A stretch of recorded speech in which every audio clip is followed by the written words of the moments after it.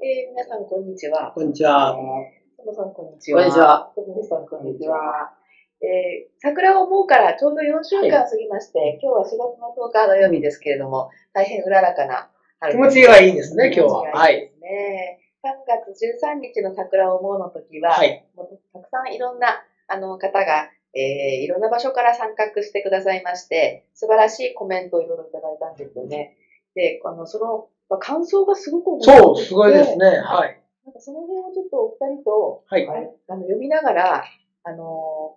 このこういう取り組みの、はい、まあ、か可能性というか、うんうん、今後の展開とかの、こう、まあ、広がりの可能性を含めて、ちょっとディスカッションしたいなというふうに思っております。よろしくお願いします。はい。まずですね、どこからのご参加ですかっていうところで、まあ、福岡だけじゃなくて、うんはい、えー、まあ、関東の方とかですね、うん、えー、宮崎とか、あと、あの、まだここのアンケートに答えてない方もおられたので、はい、えっと、本当いろんなところからご参加いただいていました。ハワイもなんですね。ちょっとね、あの、広報不足だったかなと思ったのは、リアル参加ができない方は、うん、あの、録画をご覧いただけるっていうことだったのを、3分の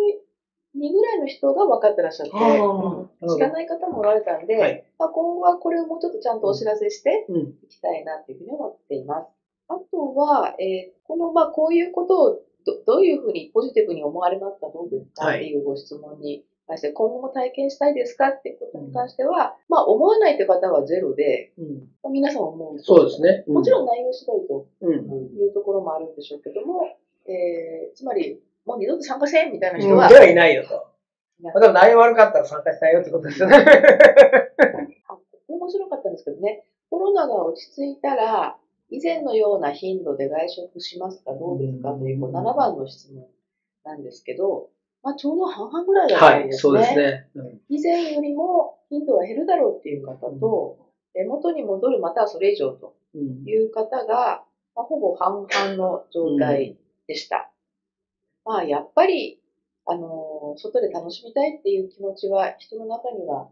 よくあるんですよね。はい、ありますね。うん。この辺どうですか、どうですか何だけは戻らないっていう、もう、言葉がひしひしとなんか滋賀の部分は感じるというかですね、なんか、まあ状況が今こういう状況でもあるのは。そうですね。二次会が行かないとかいうことも多いでしょうしね。うん、そうですね。だんだんなんかちょっともう、のんびに、あの、食事の後の二次会がいらんくなってきたかな、慣れてきましたね。なんかもう8時ぐらいに帰るのが慣れてきちゃって、ちょっともうなんか 10, 10時とか11時のはきついなってなんか、なんか感じるようになってきました、ね。早起きになりました、ああ、確かに。ほんと早くなりますよね。うん、本当に。うん、あと8番の質問で、今後外食をする場合、えー、まあ、ローカルっていうことを意識するかどうかっていうことに対して、ほとんどの方がやっぱり気にするだろうっていうことで、まあ、そういった中で、どういうあの基準で商品を選んでいきますかという質問に対して、結構いろいろ書いてくださってるんですこれすごいですね。うん。佐野さんなんかどうか気になるコメントありましたか？いや、あの、まあ、あの、全体的にですね、非常に面白い。わあ、なんかこういう意見を初めて聞くんで、うん。これは非常にね、あの、ためになりましたですね。やっぱりこう、今までのこう、感覚の中とはまた違う皆さんご意見をお持ちなんで、それとなんか、なんか、やっぱり僕これ全体的に見て思ったのは、やっぱり自分らしさというのを、らしさというのを非常にこう大事にされてるなと。だからやっぱりこう、これを通じてなんか自分らしさがこう表現できたりとか、自分らしいものであるなっていうことを、まあ、こう伝えられてるんで、まあ、これが今までのこう、とはちょっと違ってきた内容なのかなという。うん、ただ美味しいだけじゃない、簡単にできるものでは手に入るものじゃなくて、まあ本当に D2C 的なイメージの中で直接聞きながら自分がこれはなんか共有したいな、同じような価値観を持ちたいなっていう表現がすごくこの中全体に現れているなとは感じました。あの、私もこれをこう整理してて見てて思ったんですけど、あの、多くの方がストーリーとかを大事にしたいとか、からどんな人が作られてとか関わっておられるのかとか、作り手とかですね。そういったキーワードがすごく多かったんです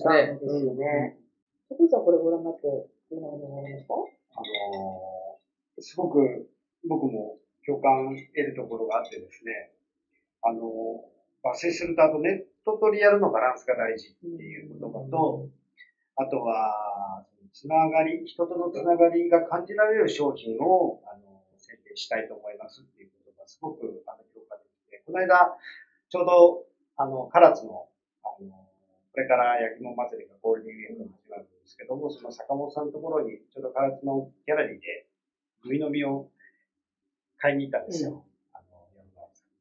だからそれ、自分の家で楽しむお酒の飲み方というものが、ちょっと道具として増えてきてる。あのー、僕もなんかこう感じるものがあって、なんか自分がある程度こう楽しめるというか、スイーツなんかまさに9割がお家なんですね。じゃあその中でどうこれから表現していこうかってなると、やっぱりご本人らしさがそこになんかあるもの、表現できるもの。それがこう僕たちとこううまくつながることが、まあ、これから僕たちのなんかお菓子業界に新たに求められるかなとは思うんですね。うん。なんか、うん。もまさにそういうお仕事をこれまでなさってきた。そうですね。なんかこう、本当にネットとリアルの、こう、今日の質、さっき現在である量より質っていうところもすごく共感できます。飲食もそうだけど、やっぱり逆にね、そのリアルがなかなか難しくなってデリバリーとか始めやったし、移行できるようになったんだけど、やっぱりそこのラインは本当にあのオンラインってすごい大事だけど、オフライン、いわゆるリアルの方が、やっぱり僕たちが表現力ね、ある意味 D2C だは、まあ B2C だよね、が表現できるんで、で、それがそのまま今回のこの企画に入ったのかなっていう感じがしますね。うん。適当に買わなくなったっていうことも書いてあって、え適当に買わないとか、あと、えそうですね、量より質とか、あと、いつでも行けるはないと知ったと。あの、ますます縁が大事だと思うとかですね。ローカル、エシカルって書いてらっしゃる。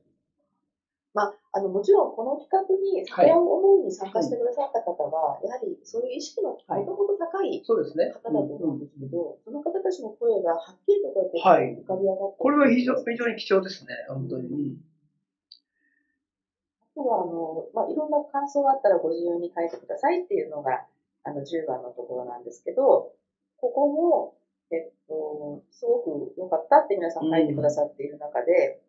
っとね、まあ、私たちのこう一つの課題かなと思ったのは、えー、箱がもったいないと思ったっていうのがあってですね、確かにこうすごくいい箱で、パッケージもきっとしてたので、はい、えー、捨てられないなとかね、はい、皆さん思われて、あの中に入れてるあの、包装ね、これも綺麗なね、真っ白にしたんですけど、綺麗でしたね、あれね。はい、今後はなんかもっとそういう新聞紙とかを使って、ちょっとこう、ね、あの、ありですね、それもですね。思ったりもしています。はい。えっと、あとはね、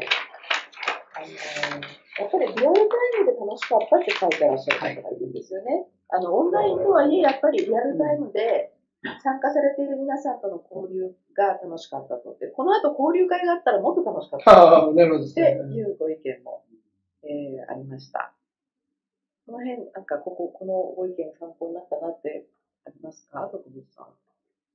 そうですね。まあ、共感しながら、一粒一粒、佐野さんの解説を聞きながら、チョコレートを食べさせていただいたんですけど、まあ、ここにいながらも、あの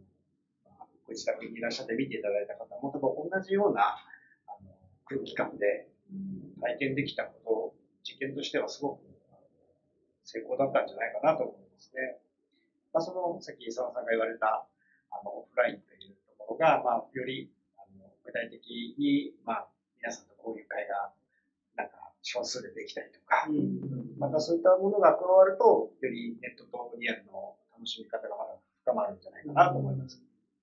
まあ、うちの場合だったらお店に来てもらったりとか、スマさんのところに遊びに行くとか、それだけでも全然、あの、また変わるというかですね。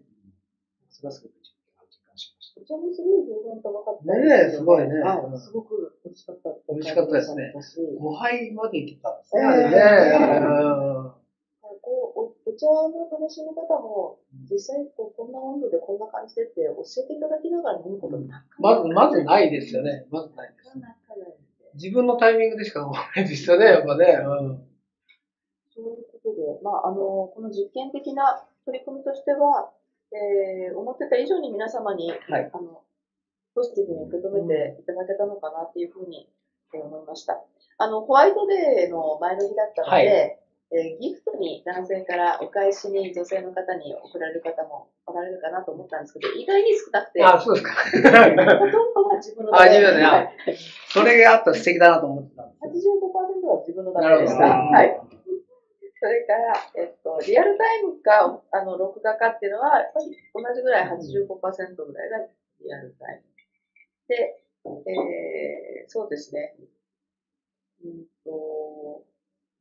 まあ、かなり、あの、私たちが思ってたようなご回答をいただいているような気がします。例えば、まあ、さっきの、あの、ローカリティを大事にしたいと思うかとかですね。はい、えー、それでですね、まあ、なんと、あの、こういう、大変好評だったものですから。はい。えー、また私が勝手にいろんなことを考えまして。はい。そうだな、5月ってなんか、新茶の季節かな。確かに。よかったね、出番だよ。もう、あの、本当に、徳井さん困ったなじゃあ、また次回の、ワン九州ミュージアムのこのオンラインサロン皆さんお楽しみに。はい。よろしくお願いします。ありがとうございます。ありがとうございます。